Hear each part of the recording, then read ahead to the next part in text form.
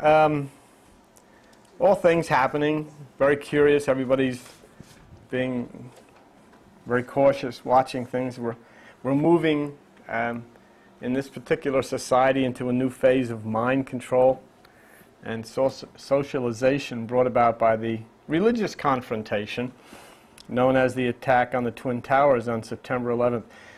And when you look in the Bible, the book of Ecclesiastes says that things that happen already have happened. And there is nothing new under the sun. Everything is repeated in one form or another. There was an attack against Jews um, in York, England, at Clifford's Tower in 1190, an anti Jewish tower attack in 1190. And then, of course, we lived through an anti Jewish towers attack on 9 11. And so, you know, when you look at those things, like, gee, you know, there is nothing new under the sun, but it gives you pause because then you say, well, gee, you know, is this all planned to be this way? How could that be? You know, coincidence? Eh. But I mean, if you have the words that say all of these things happened before, and then you actually see things that are so coincidental that you, you begin to say, are these things laid out like a play, a drama?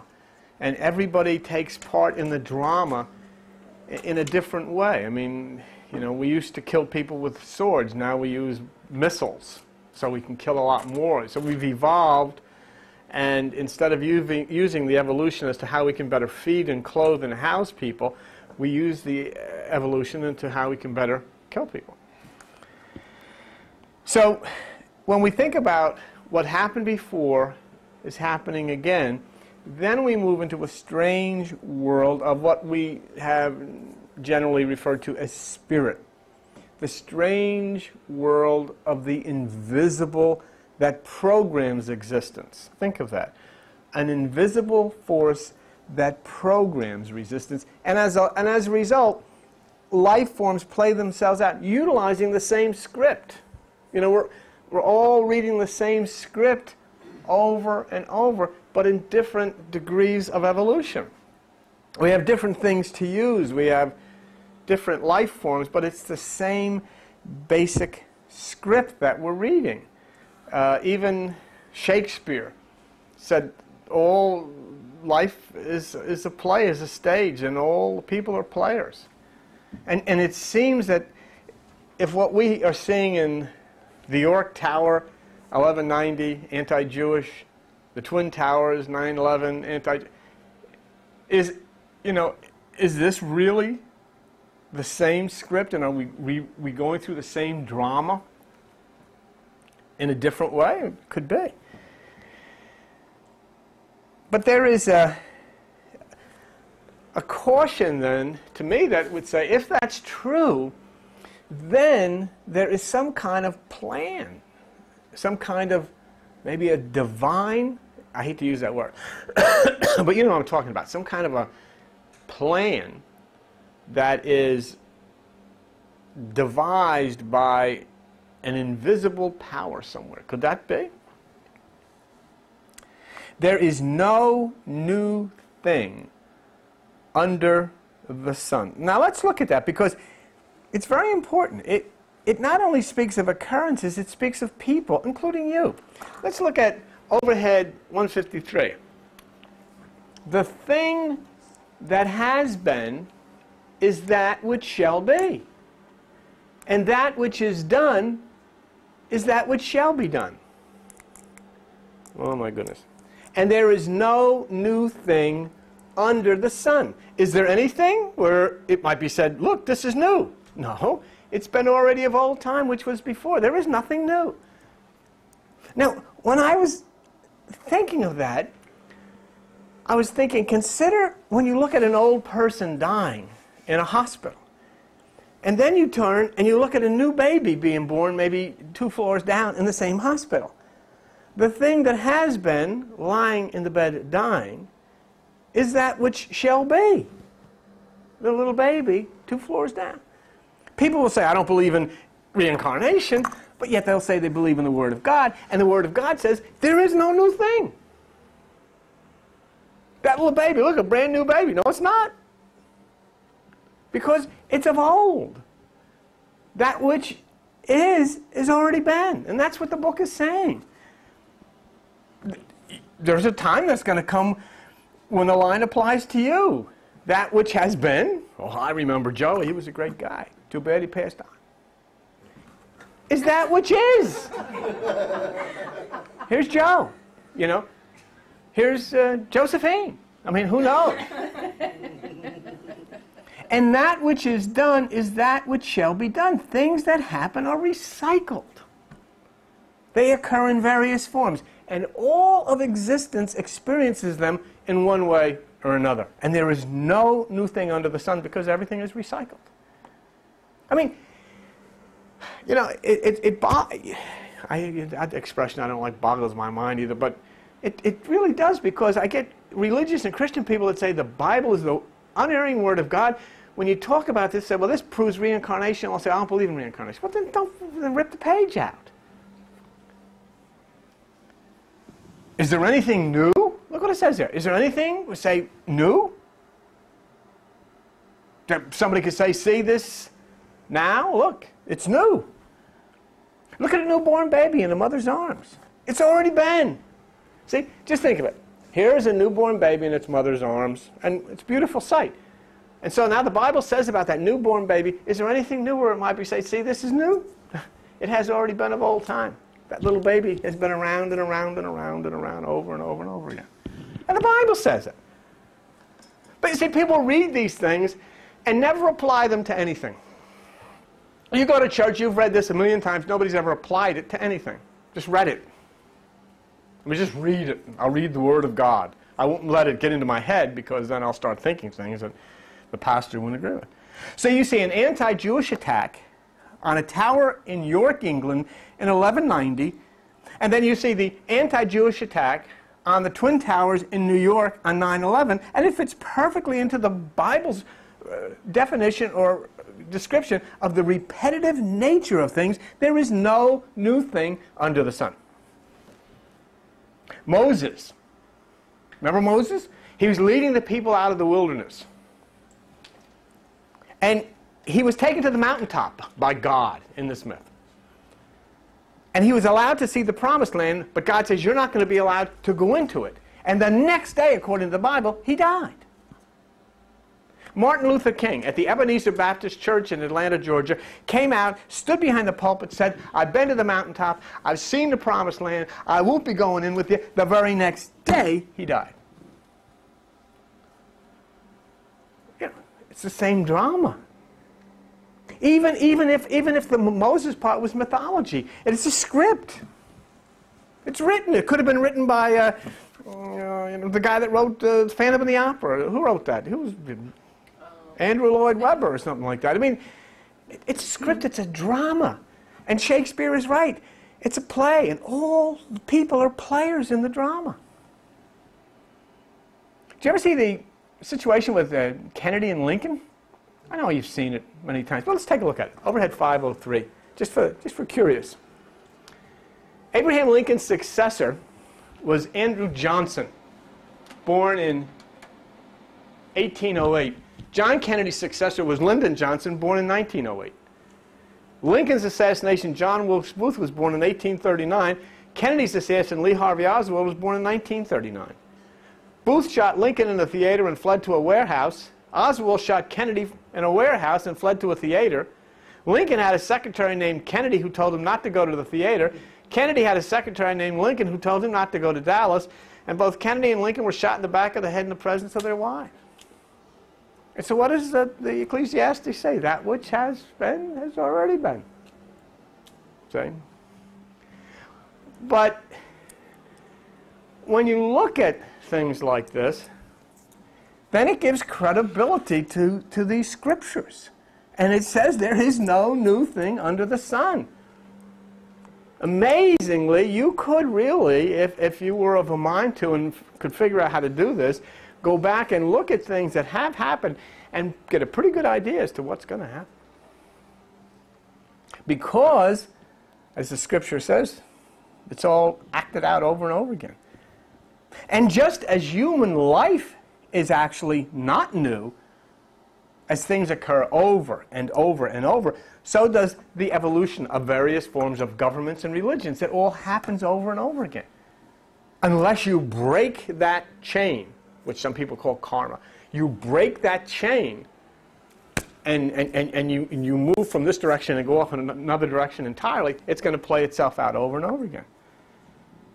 The changes that you anticipate from Eta Carinae supernova happened in a big way in the Soviet Union. Their whole lifestyle changed. they, they, they got rid of communism and then they embraced the mafia. You know, they're probably much worse off than they were before, but nonetheless, something happened. And now it's happening in a big way in this culture that is called the United States. It's, you, can, you can feel it, you can sense it. Something is changing.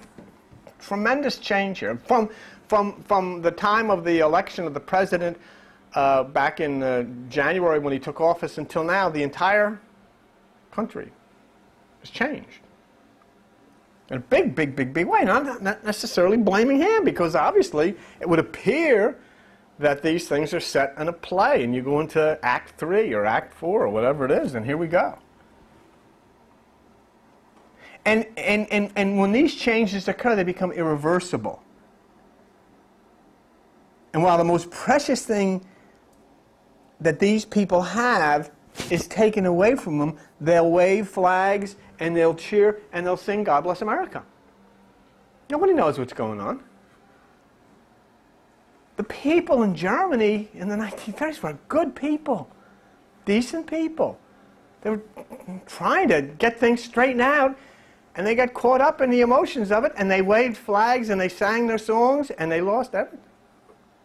It wasn't taken away from them, they gave it away. Few months ago, you can take that down. In our culture, the most pressing problem was Monica Lewinsky and then Gary Condit. You don't even know who these people are. Now it's recession, high unemployment, war, national fear, paranoia. I mean, you walk into a, I walked into a post office. There was a guy with a mask and rubber gloves on, asking me how I am. What do you mean, how I am? How are you? What the heck are you doing? What's this all? You know, and then you find yourself out in the car and you're opening the mail and you're carrying your stuff out and you're pouring alcohol on your hands. But, but this is the worst. I don't know how many of you are aware of this. And probably not too many people are because they're waving flags and they're singing God Bless America. About a few months ago, very quietly, something called the Patriots Act was approved by this Congress to fight terrorism. It gives authorities the right to go into your house when you're not there, search every room, and then tell you after the fact. The next day they can call you and say, hey, we found some pretty trashy stuff under your bed there, uh, Renee. you laugh, and I laugh too, but it's true. Nobody knows it. The president has the highest approval rating that you could possibly have. God Bless America is sung at every uh, inning of a baseball game, and the flags are waving, and yet somebody now can walk into your house legally and go through whatever they want to go through, and you can't say a word about it. The collapse of life as we know it in the land of the free is amazing and quite scary for those who depend on their elected leaders. They're elected leaders. You know. I, I, I'm amazed that there's so many questions about the attack. I mean, how could they possibly have done it? Who were these people? How did they get in the planes? I mean, how come nobody noticed that you know, they were flying? Well, Of course, nobody said anything. And all of these questions. I mean, Monica Lewinsky. There was there was congressional lawyers from all over the world, the FBI, Ken Starr, everybody asking questions. Guys come in with gavels and, and banging the thing. We'll have the next witness in this case. This kid, you know, she's having sex with this guy. And, what the heck's going on? Here you have what this monstrous thing occurred. Nobody dares ask a question. Nobody investigates anything. Nobody knows anything. Nobody even knows, you know, you bombing Afghanistan into a sandpit. Nobody even knows if they had anything to do with it. Nobody really knows. Oh, we have evidence. I mean, who's giving you the evidence, you know? It's very cool. Crazy stuff. But if the movement that is occurring now continues, then the elected leaders that you've elected will be as powerless against the military as the rest of us are.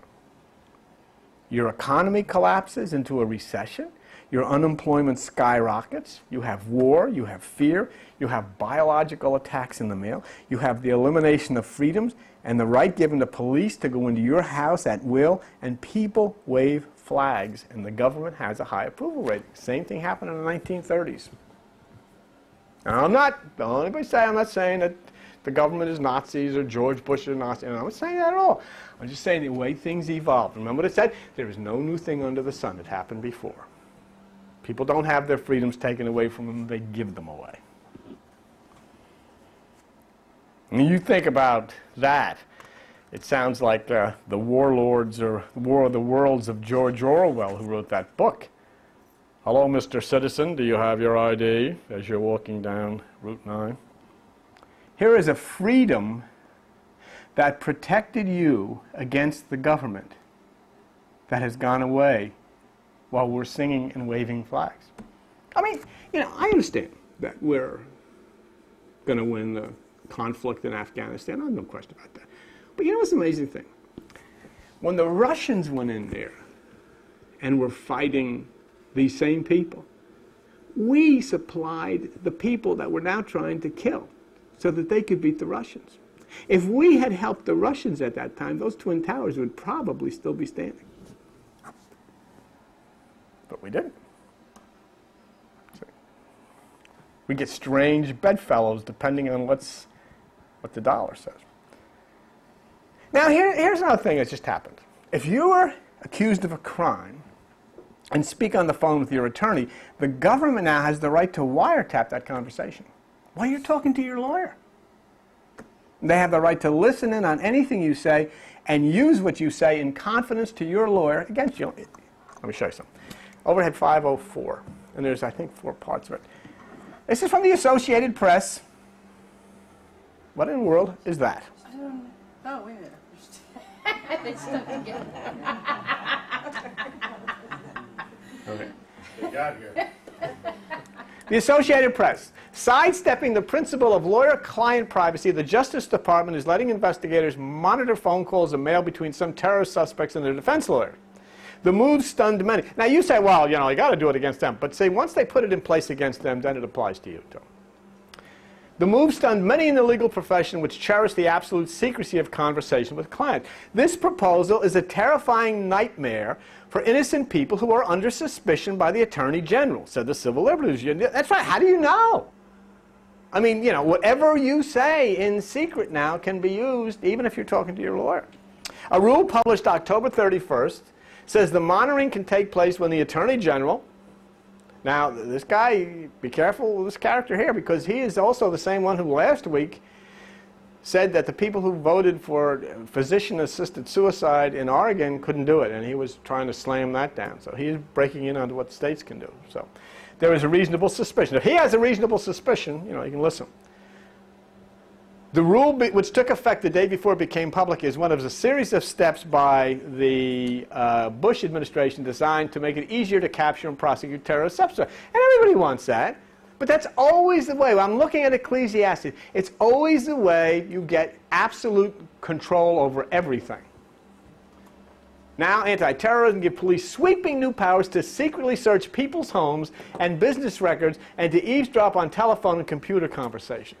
The Social Security investigator also is pressing for the right to disclose personal tax records, Social Security numbers, and other data. This comes from the Associated Press. This isn't from some right-wing or left-wing thing. Many lawyers regard the department's move of monitoring inmate attorney communication as a step too far.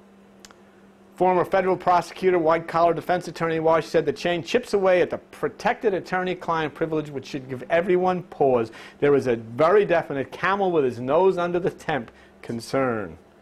Prisoners see many of their rights curtailed while incarcerated, but generally not the guarantee of private communication with their lawyers. Would you put the next one on?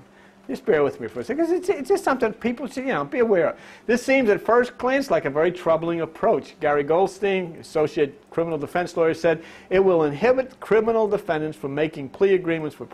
what do you think monitoring does in terms of a client being honest and communicating in good faith with his lawyer? When they know the government is listening, why should they ever talk about pleading guilty? New York University law professor believes the rule raises constitutional and civil liberties concerns. The rule requires that any disclosures, except for those necessary to thwart an imminent act of violence, must be approved by a federal judge. Rule also requires attorney and his client be given notice of the government's listening activity. That's right. Don't even bother with the next one. I don't, well, I don't know if there's any.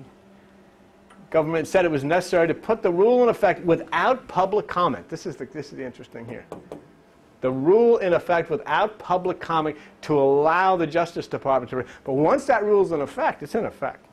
Okay. So that's where you're going. You know, you're waving the flags and you're singing God Bless America, and at the same time, you're handing over the freedoms that people died and fought for for many, many years. There is a, you know, a, a very, very scary thing about government when it becomes that powerful. So,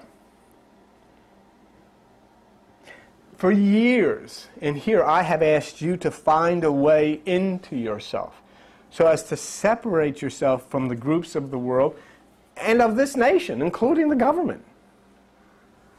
Separate from religious groups, separate from government groups, and move yourself close to the great light that we call God. As you can see, only by flowing in an inner harmony can you be truly free. We have met the enemy, and the enemy is us.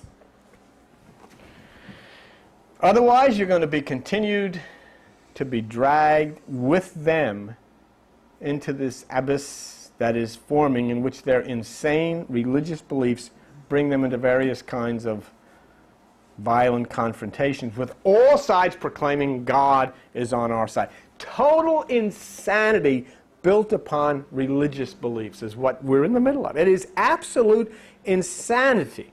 The inmates are running the prison.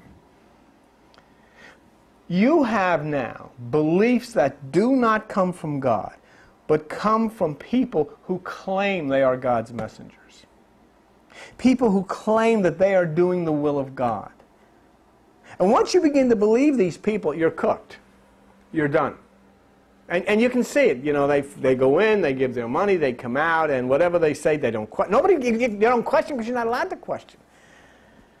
Your entire mind now functions not in a belief of God, but in a belief of an interpretation of God given, given by this particular cult. And, and believe me, Christianity is a cult. Anytime you have everybody thinking the same way and getting up and getting down and believing the same thing and not allowed to question any of the truths, it's a cult.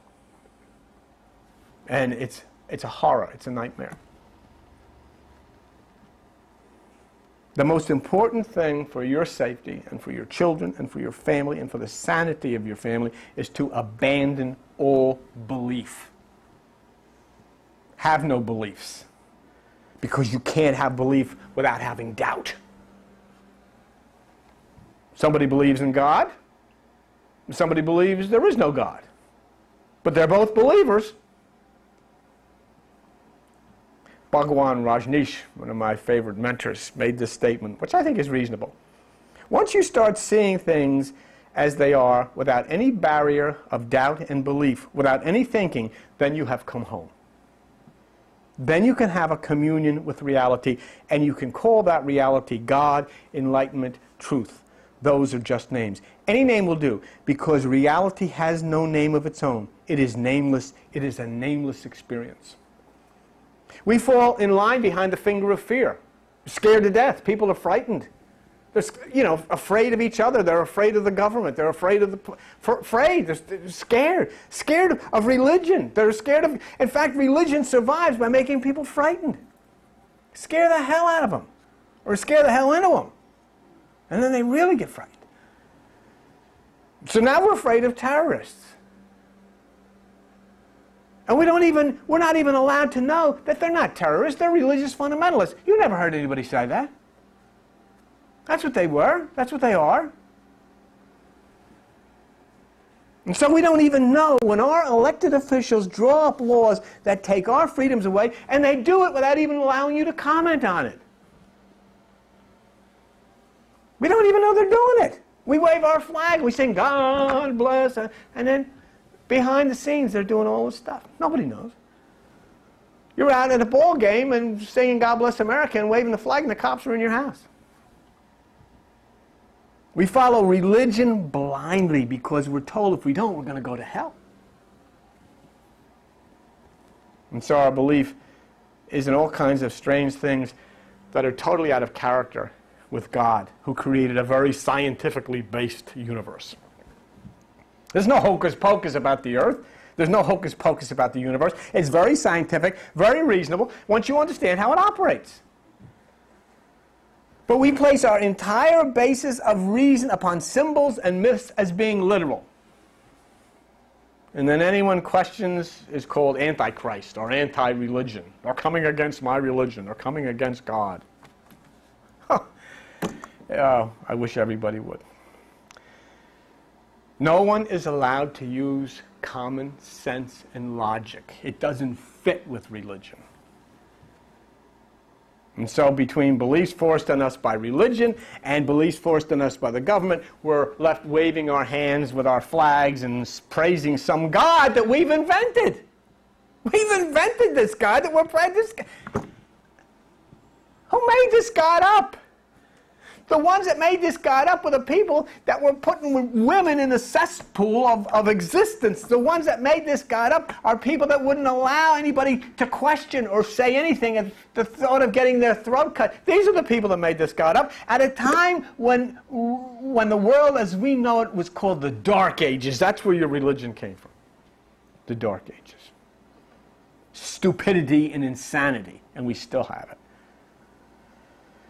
And so we sing and we wave flags and we praise a government no matter how intrusive against us and no matter how violent against others. Doesn't make any difference.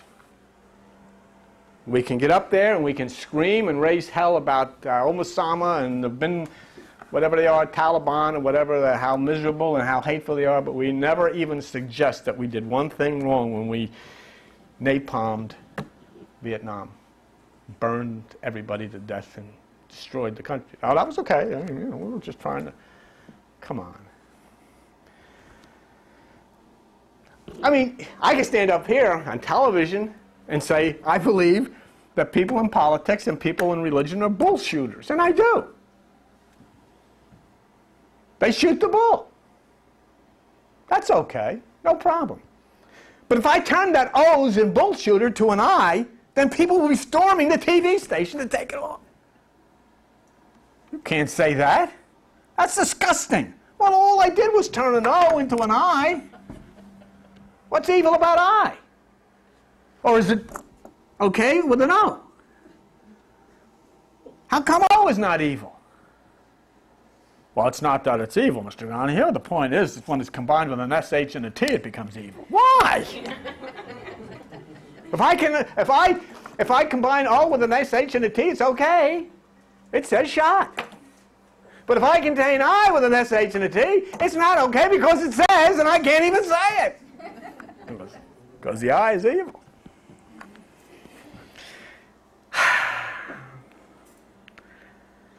So if somebody said that when the I gets in there, you can't say it. I can say you're a bullshooter, but I can't put an I in there because people get burned. So messed up by people that have decided what is good and what is evil and what is right and what is wrong. We can't even read the Bible in peace.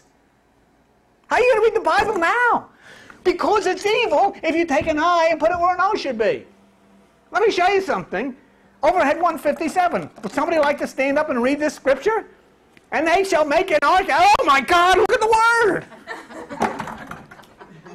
that can't be there. It's got to be S-H-O because putting an I in there is evil. You know what I'm saying here? I get all upset. It has to be should've. And yet that's the Word of God. And what is it, folks? Let's hear you. See, they said it. You can't blame me. I get all upset. And when I want to have a Bible study with the kids, who's going to come up and read the scripture from God's holy word? We'll all turn your Bibles. Would you take that off, please? Would you all turn your Bibles, please? You have your Bibles? Okay. Would you all turn to Isaiah 36 12? Thank you very much. The Word of God, the uncompromising Word of God, we all read it together. But Rabshakeh said, Hath my master sent me to thy master, and to thee to speak these words?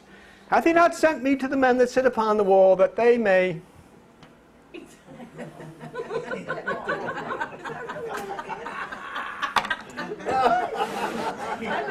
Is the word of God. Come on, Pastor. Read it.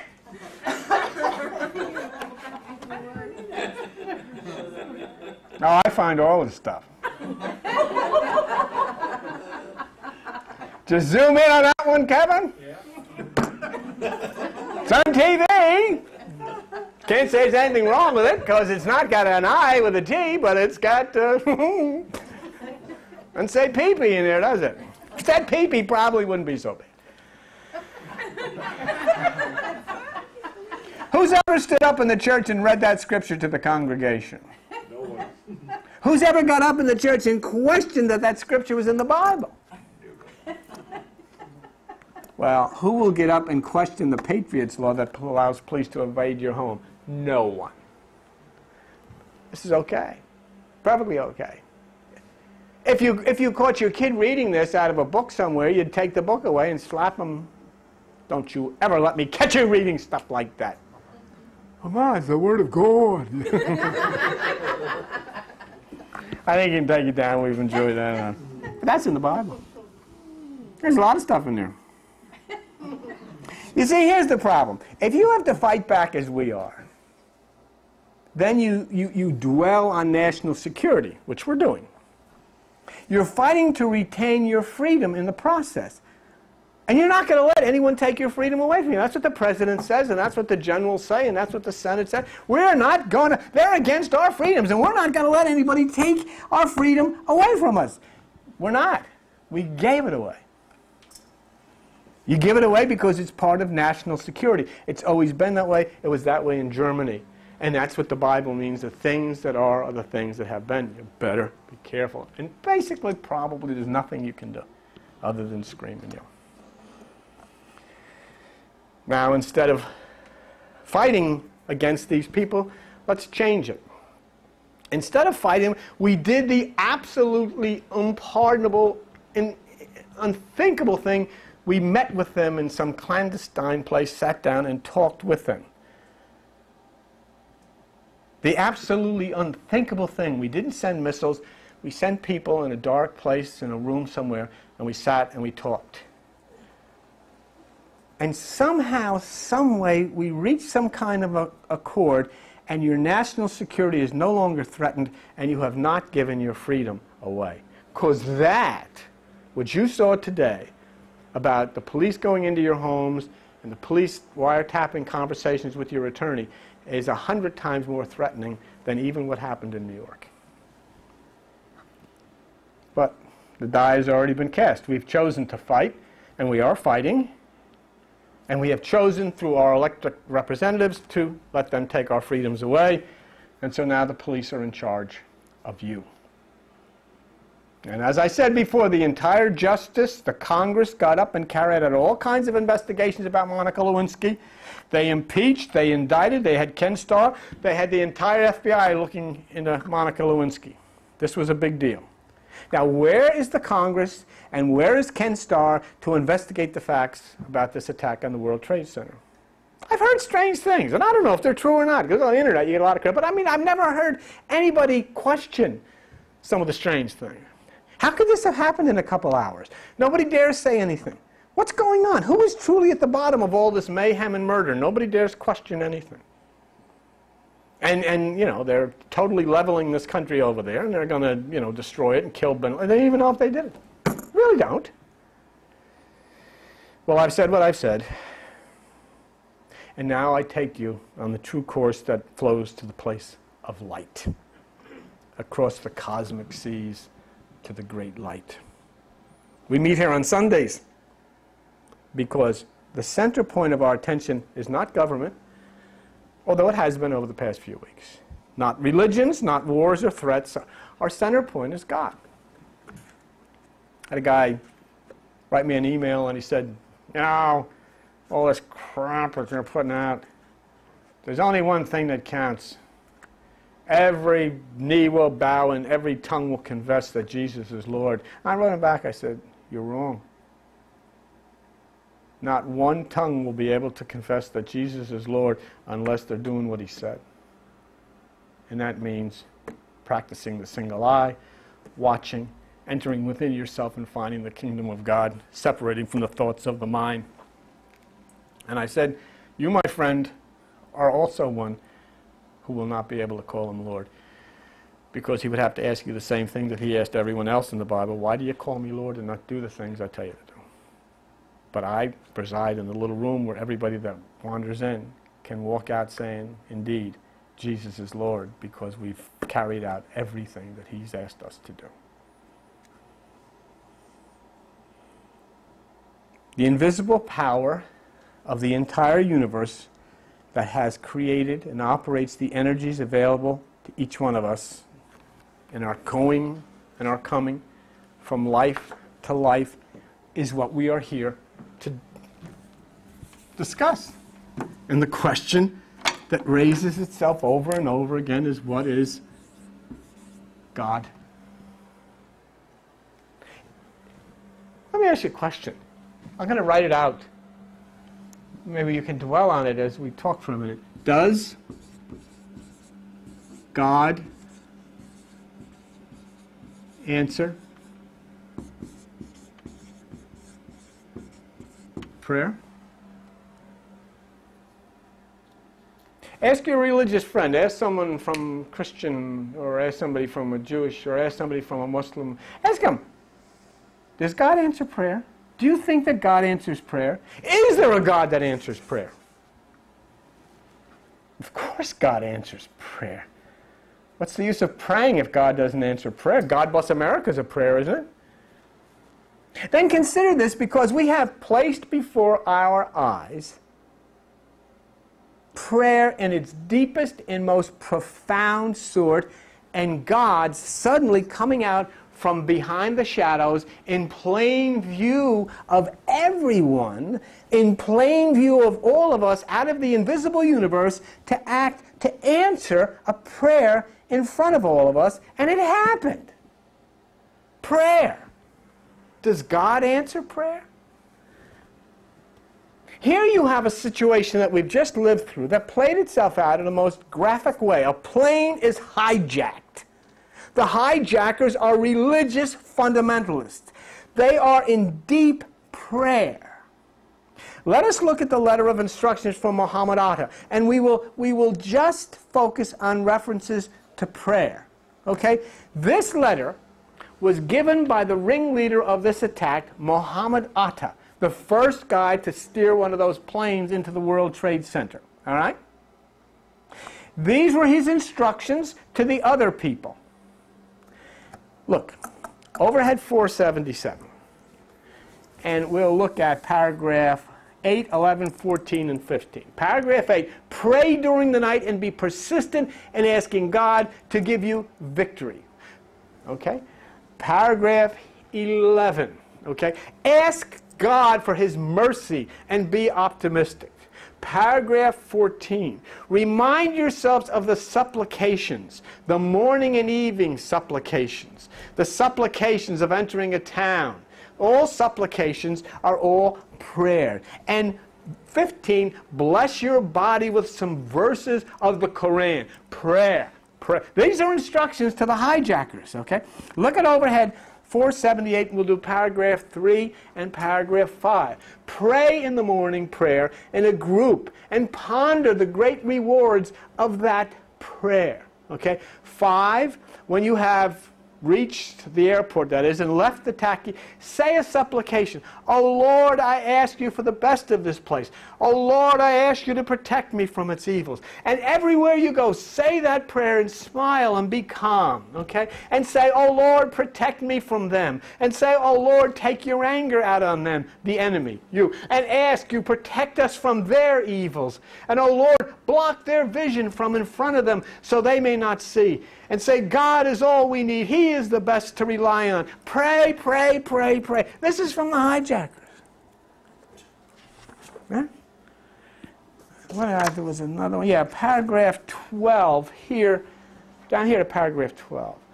You must remember your brothers. No one should notice. There is no God but God, because if you say it a thousand times, you know, nobody will be able to tell what you're doing and so forth and so on. Pray, pray, pray. Okay. What was that? That was 100, that was 47. Look at 479. 3, 4, and 5. 3. You must remember to make supplications wherever you go and anytime you do anything, and God is with his able and protect you. Okay? 4 when you ride uh, the airplane, before your foot steps in the plane, before you enter it, make a prayer and supplications, okay? When you step inside and sit in your seat, that's in the airplane, begin with the known supplications. Be busy with the constant remember of God, oh ye faithful, and so forth. And then number five, this is the movement when the plane takes off, Remember God, as he said in the blah, blah, blah, his prophet said, give us the victory, make the ground shake under their feet, pray for yourselves, and all. I want you to concentrate on this one. Concentrate on this one. Pray, let me find that. Pray for yourself and all of your brothers that they may be victorious and hit their targets, and ask God to grant you martyrdom. Pray, pray, pray. Okay? Now, so there are the instructions. Now wait, there's one other, isn't there? 480? 480, paragraph 2 and 3. Don't forget, uh, wholeheartedly welcome death for the sake of God. Always remember God. Either end your life while praying seconds before the target or make your last words, there is no God but God, and Muhammad is his messenger. And for, uh, we'll meet in the highest heaven. Uh, is that what I want to? Yeah, that's these, these here. One. Pray at the second that you hit the target, you are to pray, make your last words, there is no God. But God. Remember that God gave victory. Yeah, but, yeah, right, okay, right. Remember God gave victory to his faithful servant. So there is no doubt that the hijackers were praying to God to be successful in their attack. They were praying uh, for God to protect them is there any doubt that these were religious fundamentalists? And, and see, this is what drives me nuts. You can't get the government to even take, to tell people what these people were doing. For some reason, our government avoids referring to them in this way. And you know why? Because you've got a religious fundamentalist government in the now and they can't connect themselves to these people. But they are. It's the same stuff. This guy is Jerry Falwell with a turban. For some reason, our government refers to them as terrorists and not as religious fundamentalists, yet it is absolutely clear that God is the entire reason for the mission, and prayer was the basis of this plan. There's no doubt about it. Every bit of the activity, as I've shown you, was based on prayer. So now the question is, and here's what I'm going to throw at you Did God hear their prayers and did God listen to them? They prayed that their mission would be a success, they would hit their target, and that the eyes of the enemy, meaning our side, would be blinded. Did God hear their prayers? And did God say yes? You remember? Here, here, here you got four guys uh, all these people walking into major airports in Washington, in Newark, or Boston, all over the place, taking big planes. And nobody knew. And then flying them off course. And the President of the United States didn't even know what happened until the first one hit the, the guy. The guy was supposed to be going from Boston to California, made a left turn, headed down to New York. The President of the United States didn't know until the plane hit the World Trade Center. Nobody knew. Nobody saw anything. Let me look at that prayer. It's an important prayer. See? I'm going to see if a prayer was answered. Are you with me here? You get, you get these people taking over these planes. Nobody knew anything was happening. They, they take them and they do all of this stuff and nobody knew and they fly all over the place and nobody knows. Let me show you something. Go back to overhead 478 and look at paragraph 5 again for just a minute. And remember this. Remember this prayer. Oh Lord, block their vision from in front of them so that they may not see. And they didn't see. God answered that prayer. And if God answered all these prayers and made their attack against the World Trade Center successful, this is the guy you're asking to bless you. God bless him. What are you going to get from this guy? They hijacked four planes from four large international airports. They took over each of the planes, flew them off course from one state to another. Either no one saw or was able to bring themselves to do anything until after the planes had crashed into the World Trade Center. And that's exactly what they asked in their prayer. Thus did God answer their prayers, and were our eyes blinded. And so, there is no doubt, you can take that, there is no doubt that the hijackers were praying for the success of their mission. Now I ask you, that's the prayer of the hijackers. And it sure seems like it was answered, didn't it? Who else was praying on those planes? You don't think they were praying? You don't think they were praying, oh God, do something, save my life, save me out of this? God, don't let this happen. God, protect me. God, do something, intervene. Don't you think God, don't you think people were praying on these planes knowing what was going on? That God would protect their lives and save them? Well, the hijackers were successful. They brought down the World Trade Center in an hour. That's the question. Did God answer their prayer? It seems so. And the passengers who prayed all died. They were not saved. Their lives were not protected. Did God answer their prayers? Obviously not. Are we to do with that? So, at first glance, it would appear that God answered the prayers of the hijackers and was with them in this mission. And if this is the God we're asking to bless us as we sing God Bless America, you would have to think twice. Are you sure you want blessings from this guy? Like he blessed the passengers on those planes? But if you really look at this, you'll see that God wasn't involved in any way whatsoever. He didn't bless the hijackers. He didn't bless the passengers. God didn't answer anybody's prayer. One very important prayer made by the hijackers went unanswered. As such, one can confidently conclude that God was not involved, and one would have to also conclude that God does not answer prayer at least as we've traditionally said. One of the instructions contained in the hijacker's letter is very revealing about the part that God played in this, and we'll look at it in overhead 479, and we'll go to paragraph 5. This is the moment that both, so remember God, pour your patience upon us in His word. Oh Lord, you gave us the victory over them. Give us the victory. Now here's the here's here's here's the one pray for yourself and all of your brothers that they may be victorious and hit their targets. One plane didn't. It crashed into Pennsylvania in the ground, and that to me proves that God did not answer their prayers. God didn't answer their prayers. God didn't answer their prayers. The two planes that hit the World Trade Center were victorious, and the plane that hit the Pentagon was victorious, but the fourth plane encountered a problem when the passengers revolted and it crashed, and therefore, praying for their brothers that they may be victorious was not answered. What does it mean? God does not answer prayer in the form and the way that we have been taught and that we believe. It doesn't happen. If you are in a plane and it's going down from 30,000 feet, you are going to die. There is no God anywhere in the universe that can or will do anything about that. If you are confronted by someone with a gun and they fire a bullet into you, you are going to be hurt or you're going to die. It depends not on God, it depends on where the bullet hits you.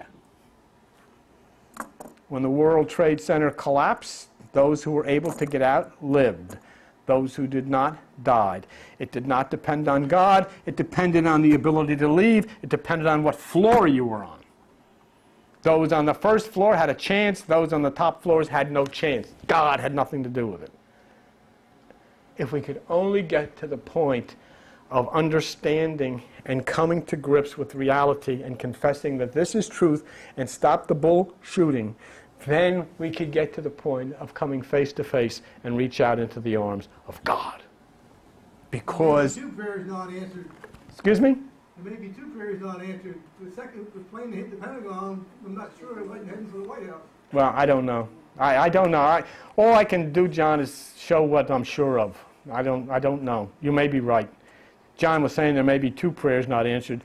That other plane was supposed, maybe was going to the White House and hit the Pentagon. I don't, I don't really know. But I do know that one hit the ground, and that's not where it wanted to go. Al Bianchi had a stroke. Al's not here today. No, no, no, no. No, not, not, no, he didn't have a stroke today. I mean, no, no. Oh He's, he, he's on vacation in the, um, hey, where the heck is he? The Catskills already. He's up at the Catskills at the Pincus and the Pines or wherever he goes. He's having a great time. What I mean, a long time ago, he had a stroke. Please. But here's the point. Al.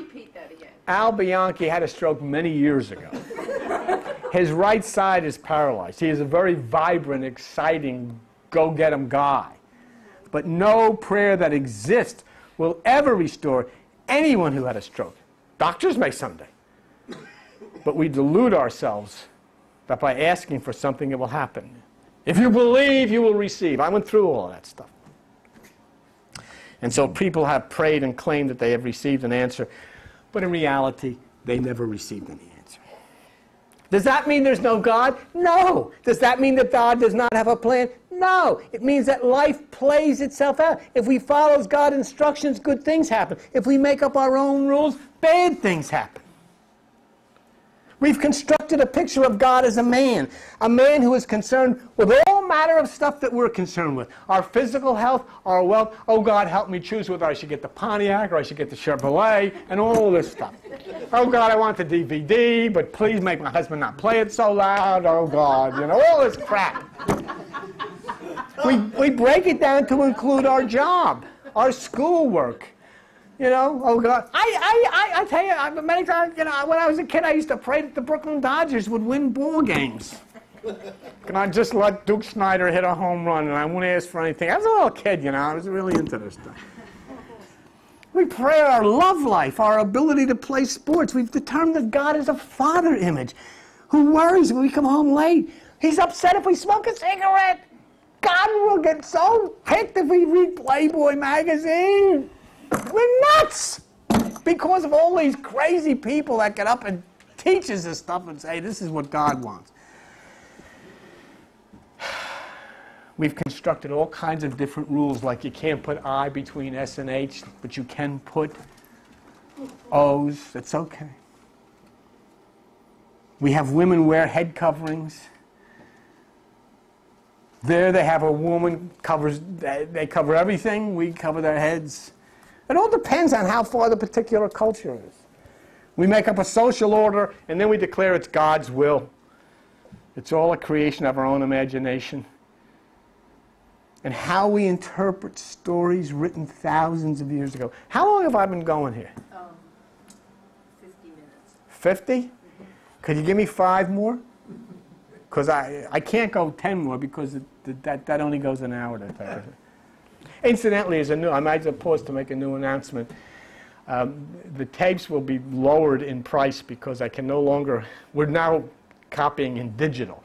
And digital does not allow me to put two hours on these things, only one. So you only get one message per tape, but we are reducing the price. We don't have five minutes left anymore now. But let, let, let me, let, me, let, me, let, let me just tell you something. I wanted to get into this. We make a social order, but what is the truth? How can we ever find the truth? We use Bibles and Korans and Vedas and Sutras, but in the final sense, this is the thing that religion doesn't allow. You've got to use common sense. And isn't that funny? Whenever you use common sense, you're considered the Antichrist, or you're against religion. What does common sense say? The ready? I want you to be common sense with me. Ready? We go common. This is we're going to do this, and that's the end of it. The Greeks wrote mythology. Everybody understand that? The Greeks wrote mythology. Mythology is a symbolic statement of scientific applications related to astronomy and anatomy. That's what mythology is. Okay? Now, the Greeks. The Bible. The Old Testament became a Greek document in 300 BC. The New Testament is entirely a Greek document. A Greek document filled with symbolic writings. Common sense. The Bible is Greek mythology. The name of the Jewish Messiah, Jesus, is a Greek name. Thus, evidence that this indeed is Greek mythology. Because if it wasn't Greek mythology, the guy would have a Jewish name. He doesn't. He has a Greek name. It doesn't have any connection to anything Jewish. It's Greek. People say, it's Yeshua. No, it isn't. It's Iesous. It's Greek. The second coming is preceded by a white horse in the sky. The white horse in the sky is Pegasus of Greek mythology. Thus, common sense is beginning to provide us with a logical basis upon which we can read the ancient texts. They are mythological symbols representing anatomy and astronomy, and they come from that Greek culture. Now, who objects to that? The ones who object to that, who refuse to apply common sense to the subject of God, those who insist on taking symbols literal. So is this God a father? Is this God concerned with the things that human beings are concerned with in some cases? But in most cases, no. Why? Why is it? Because what is the nature of this entity called God? Why would this entity called God be concerned in ways that are different than we are concerned? Why would God allow the World Trade Center to be destroyed and all these people killed? If God was a man, chances are God would intervene and stop it. A big hand would come down and grab that plane. But God is not a man. And that's where we have to use common sense to attempt an understanding of what we call the divine. Let's look at this, and then this is the last thing we look at, B42. We're out of here. Here's the simplistic answer. Numbers 23:19 of the Bible, God is not a man. 1 John 1:5, God is light. And no one has ever for a moment tried to attempt reasoning with light. No one has ever attempted to communicate with light. There is a way, there is a position, there is a, a, a reasonable approach to communicating with God. And I will show you what Jesus Christ himself explains that the only possible way to get through to God is to understand God is light. Because Jesus, as he says in the scripture, only in spirit can anyone approach him not with words. Whether you're in an airplane or whether you're in here, not with words.